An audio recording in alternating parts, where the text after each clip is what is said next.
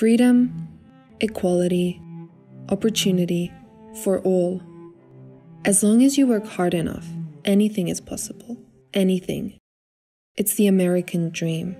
But what does it actually look like when real people are involved? That's what I'll be exploring in this video Minari versus Nomadland. When we think of America, it has a lot to do with land. Live the dream, settle, and stake your own soil. In his 1931 book, Epic of America, James Truslow Adams popularized the phrase American dream, describing it as that dream of a land in which life should be better and richer and fuller for every man, with opportunity for each according to his ability or achievement. Yet, that very notion has changed over time with new generations, political climates, and education systems.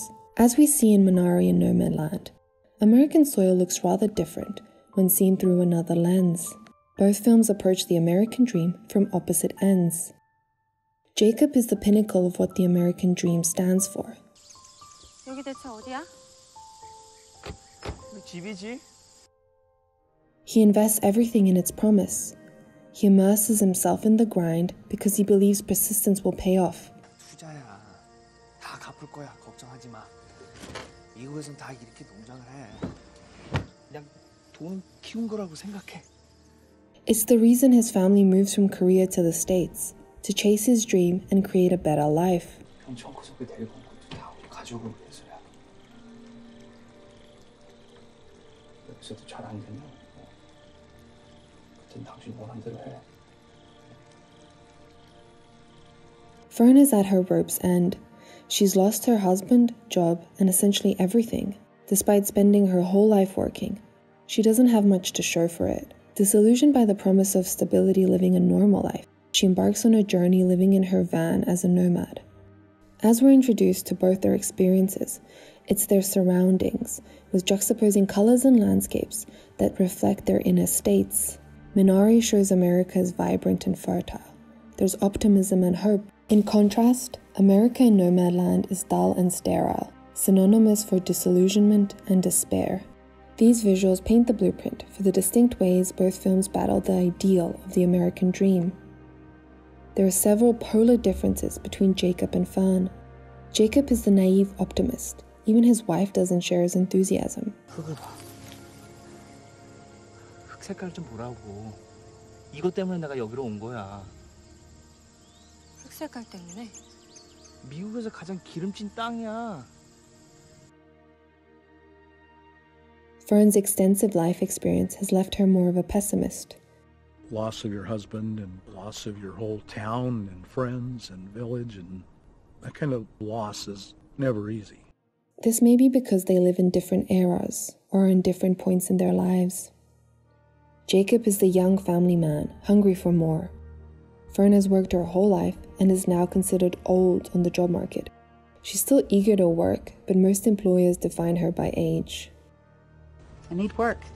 I like work.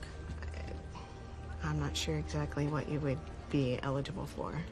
Jacob brings with him the novelty of being an immigrant, accustomed to a different culture, yet excited by all America has to offer. As he integrates and adopts an American way of life, he becomes more of an insider, complementary to society's expectations. In contrast, Fern is a born and bred American, all too aware of the realities of living there. She chooses to go against the grain and live on the outskirts of society. She becomes more of an outsider. Still, neither of them ever truly fits in. There's a sense of otherness, and it sticks. Regardless of where you start, you still have to contend with standing out as soon as you challenge the status quo, be it by how you live or your mere presence. Both Fern and Jacob have the courage to sacrifice what they know in the hope of something better. As we follow their journeys, it becomes clear that both Jacob and Fern share a common desire for a better life. Jacob believes he'll get it chasing the American dream. Fern if she steps away from anything resembling that. It's strange that you encourage people to invest their whole life savings, go into debt, just to buy a house they can't afford. Their experiences are even more stirring, knowing they're based on true stories. Nomadland includes real people as actors, whilst Minari is based on the director's own life. Through them, we see struggle and the repercussions of our choices. Jacob keeps chasing, even if it comes at the cost of his marriage.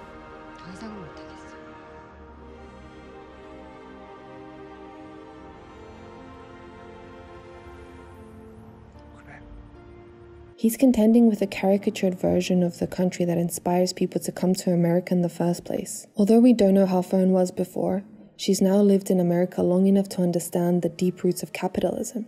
She's learned the danger of wasting time on things that don't matter. He died 10 days later, having never been able to take that sailboat that he he bought out of his driveway and he missed out on everything. And he told me before he died, just don't waste any time, Burl. Don't waste any time. For Jacob, it's only when his mother in law, Soonja, moves in with him that his certainty is challenged. She brings Korean roots that aren't interested in change. We see the two worlds clash as young David would rather wear cowboy boots than share a room with grandma because she smells like Korea, even if he hasn't been there. There's a Korea smell. You've never even been to Korea. Grandma smells like Korea. Soonja succeeds where Jacob does not. His big plan backfires and he loses everything he's grown. Eventually, it's Soonja who thinks small and scatters the Minari seeds that is able to succeed as a farmer. Wonderful. In this way, we see that we can't run from our roots. There's no roadmap to success, and chasing something for the loss of yourself isn't worth it. It's more fruitful to acknowledge that what we consider a better life will differ from the person standing next to us. We don't have to settle for a life that doesn't serve us. In fact, unsettling ourselves can be more fulfilling than we ever imagined. American or not, dreams are universal. Living that dream starts with figuring out who we are, what we want, and staying true to that. Meandering is part of the ride. Thanks so much for watching. Make sure to subscribe for more videos like this.